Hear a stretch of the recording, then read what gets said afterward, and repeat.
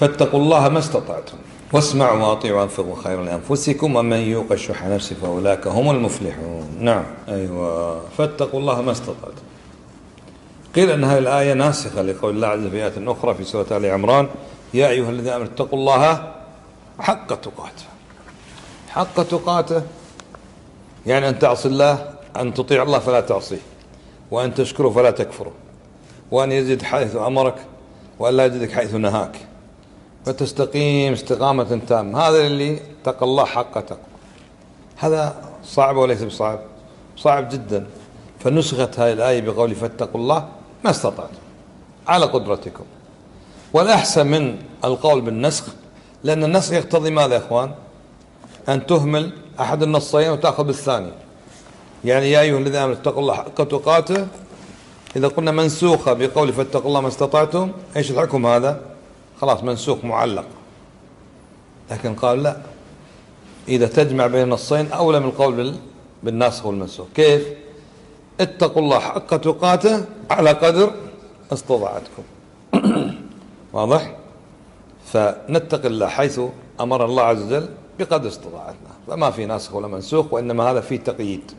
اتقوا الله حق تقاته بقدر ما تستطيعون. فاتقوا الله ما استطعتم. تقوى الله تكون بماذا بامتثال الأوامر واجتناب النواهي. وطاعة الله ورسوله والناب التوبة نصوح الناب إليه. ما استطعتم من ذاك سبيلا إلى طريق التوبة وسبيلها بالطاعة والاستقامة على قدر استطعتم. واسمعوا لما تؤمروا به.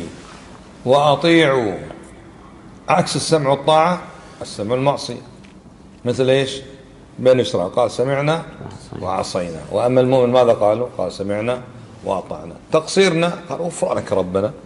وإليك المصير. إحنا نسمع ونطيع. لكن إذا إذا قصرنا يا رب اغفر لنا ما ما قصرنا. وأنفقوا خيرا لأنفسكم. يعني ما تنفقونه فهذا لأنفسكم. أنتم الذين تنتفعون من ذلك. الله غني عن عبادتكم. ومن يوق شح نفسه. ومن يوق شح نفسه الشح هو يعني أعلى درجات البخل. ليس بخل فحسب بل هو شح درجة أعمق. فالذي يوفقه الله عز وجل ويتوقع هو بعون الله عز وجل حرص الحرص والبخل الشديد على نفسه لأن إذا عمل صالحا لنفسه وإذا بخل فعلى نفسه. ومن يشكر فإنما يشكر نفسه ومن كفر فإن الله غني حميد. قال الذي يوقيه الله عز وجل هو يتوقع الشح والله يعينه على ذلك فأولئك هم المفلحون. يعني من يتقي الحرص الحرص مطلوب لكن على ما ينفع. لقول النبي صلى الله عليه وسلم فاحرص على على ما ينفعك. لو حرص الإنسان على ما لا ينفعه صار هذا مذموما. لو حرص لو حرص على ما فيه مضرته ما فيه إثم هذا على نفسه مذموم لكن يحرص على النافع. النبي صلى الله عليه وسلم أوتي جواب الكلمة. قال إيش؟ قال فاحرص على ما ينفعك واستعن بالله ولا تعجز. شوف كلمات مختصرة لكنها مرتبة. ها ماذا قال؟ ها احرص. احرص خليك حريص مش مفرط. قيده فقال على ما ينفعك. طيب لو الانسان حريص على الشيء النافع لن يتمكن ما لم يعنه الله. قال واستعن اطلب العون من الله عز وجل.